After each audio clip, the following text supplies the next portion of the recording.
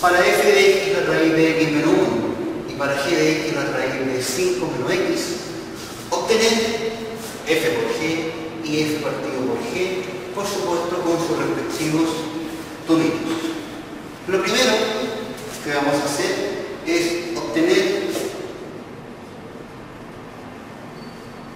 el dominio para f y vamos a decir que x menos 1 debe ser mayor o igual que 0. O mejor dicho, x mayor o igual que 1. Por lo tanto, el dominio de f es el intervalo entre 1 y más infinito. Ahora, ahí ya tenemos el dominio de f, que parece una g, pero es una f dominio de F. Obtener ahora el dominio de G. Y el dominio de G, tengo que decir que 5 menos X debe ser mayor o igual que 0. O mejor dicho, 5 mayor o igual que X. O decimos mejor que los X sean menores o iguales que 5. O sea, el dominio de G va a estar dado desde menos infinito hasta 5 cerrado. Por lo tanto, ahí tenemos el dominio de G. Vamos a encontrar ahora, a buscar las expresiones analíticas correspondientes para F por G. Y F por G va a ser la raíz de X menos 1 multiplicado por la raíz de 5 menos x. Si eso lo trabajamos, es lo mismo tener la raíz de x menos 1 por 5 menos x. Eso lo podemos trabajar dentro de la raíz y nos va a dar la raíz de x por 5, 5x, menos x por x, x cuadrado Después tenemos menos 1 por 5 que es menos 5. Y menos por menos es más 1 por x es x. Finalmente, esta expresión, que va a ser la expresión para f por g de x, va a ser igual a 6x menos x cuadrado menos 5 en raíz.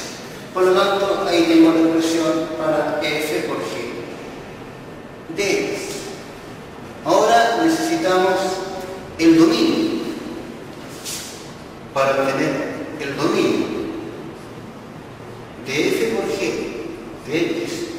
Basta aplicar la fórmula como el dominio de f intersectado con el dominio de G. El dominio de F es el intervalo entre 1 a más infinito, intersectado con el dominio de G, que es el intervalo entre menos infinito y 5. Por lo tanto, si lo dibujamos, uno de ellos dice 1 5.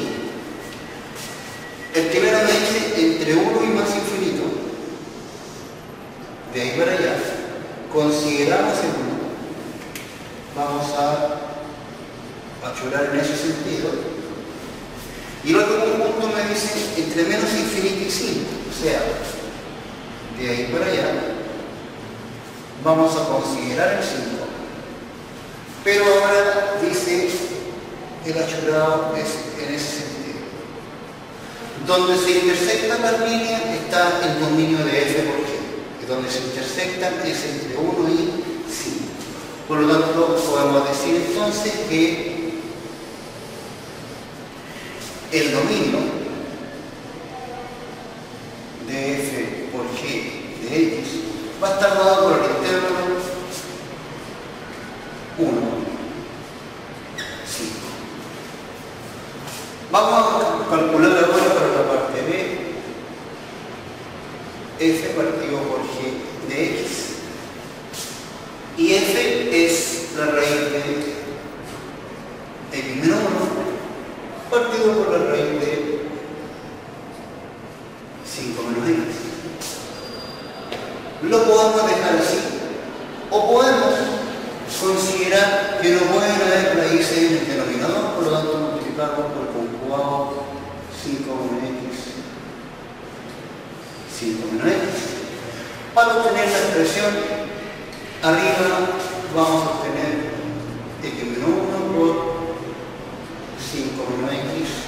partido por el cuadrado de eso que es 5 menos x. Pero la parte de dentro de la raíz es lo mismo que esa expresión de y. Por lo tanto, vamos a tener entonces eh, 5 menos x, sea perdón, 6x menos x cuadrado menos 5 dividido por 5 menos.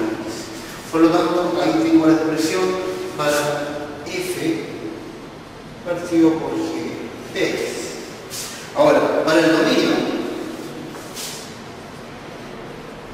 de f partido por g de x, lo vamos a calcular por la fórmula, va a ser el dominio de f intersectado con el dominio de g, pero ahora tengo que quitar los puntos donde g de x sea 0. Para mí el dominio de f está dado como 1 más infinito, intersectado con el dominio de g, que fue menos infinito hasta 5. Pero ahora le tengo que quitar los puntos donde g de x sea 0. Y g de x es la raíz de 5 menos x, y eso igual a 0. Por lo tanto, de ahí le tenemos que quitar el 5 de que 5 menos 5 me da 0. Entonces nos va a quedar la siguiente situación. A este intervalo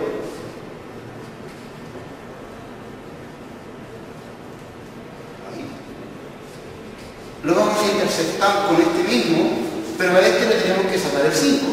Por lo tanto, me va a quedar de menos 5 a 5 ahí.